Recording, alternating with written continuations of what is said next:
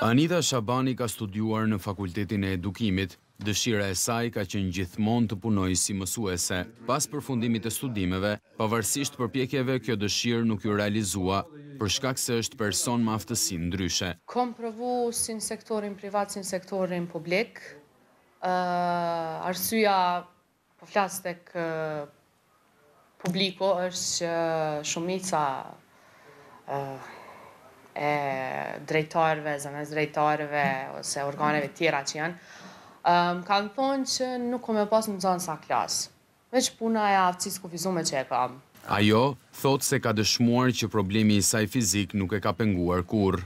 Dhe i vetmi rast që kom provu është kur e kom majtë praktikën.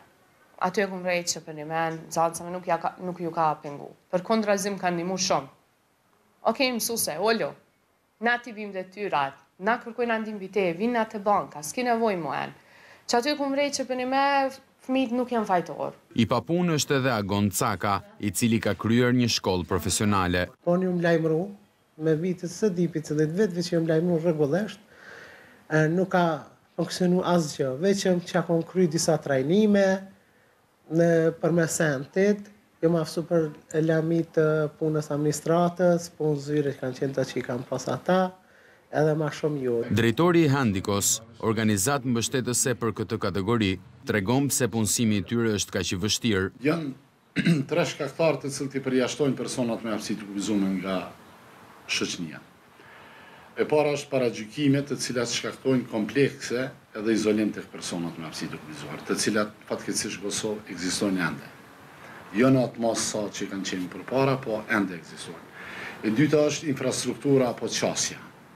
Edhe e treta është legjislacioni i cili nuk i merr në konsideratë të drejtën e personit me aftësi të kufizuara. Domethënë këto janë tre shkaktarë të cilët personat me aftësi të kufizuar kanë kufizime në pjesëmarrje.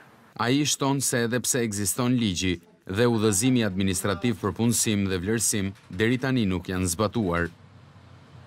Çdo person me aftësi të kufizuara aplikon për punë, vlerësohet për çfarë profili dhe çfarë pune mund të kërkojë dhe e merr një status, një dokument se ai person është me këtë kufizim dhe mund ta kryjë këtë punë. Fatkeqësisht po kalojnë pesë vite, ky udhëzim nuk është apliku, nuk është zbatu fare. Ditë më parë kryeministri Kurti u dha shpresë me zotimet e tij. Sot kam marrë një vendim që obligon organet e administratës shtetërore që gjatë vitit dy mijë e njëzet e dy të plotësojnë kuotën për punësimin e personave me aftësi të kufizuar. Kjo kategori pret që deklarata e kryeministrit mos të mbetet vetëm fjalë. Po du me ju tregu që persona me aftësi të kufizume mujnë me bo diçka ma shumë. Nuk janë ata haj se s'dinë. Ky vit në Kosovë është shpallur si viti i personave me aftësi të veçanta, me premtimin nga qeveria se do të bëhet më shumë që ata të mos ndihen të përjashtuar në shoqëri.